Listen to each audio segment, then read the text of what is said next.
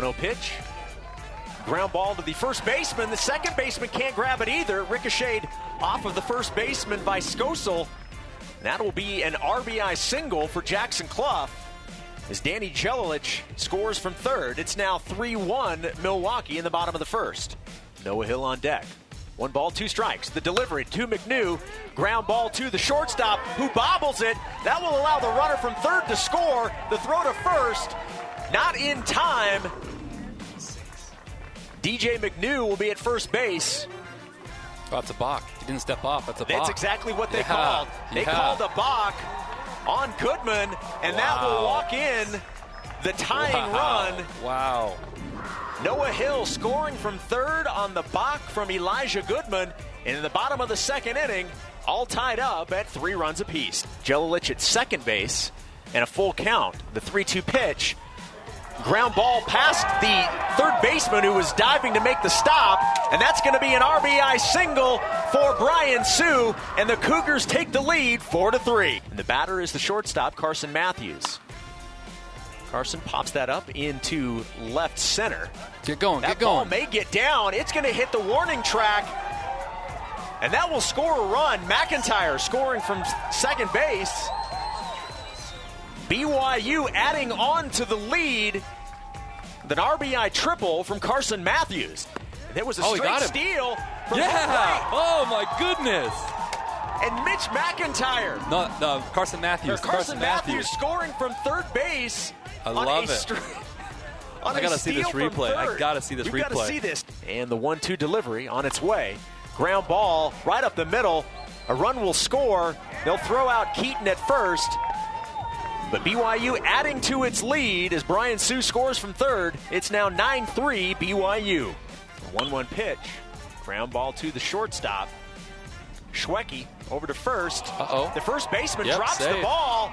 That will score Brock Hale from third base, and the Cougars add another run and lead 10 to 3 here in the bottom of the fourth inning.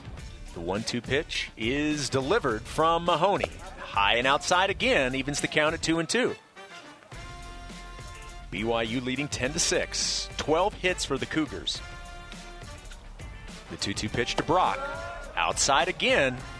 And after falling behind 0 2, Brock's worked the count full, three balls and two strikes. Yeah, really good at bat. 0-2 count. Three straight pitches he takes.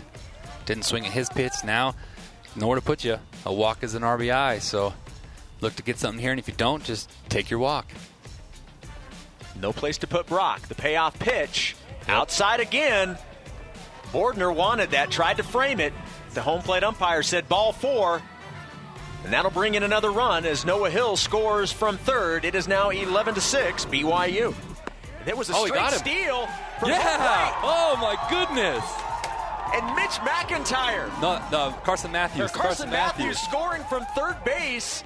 I on love a it. str- on I gotta see this replay. I gotta see this You've got to see this. Now you've got BYU's RBI leader Jackson Cluff at the plate, and a ground ball. He's going to add to that total. One run will score. Two runs will score. And that is a two-run single for Jackson Cluff, and the Cougars increase their lead to 13 to 6 in the bottom of the fifth. 2-2 pitch. Keaton pops it up into shallow right center. Right fielder Cortell over to make the play.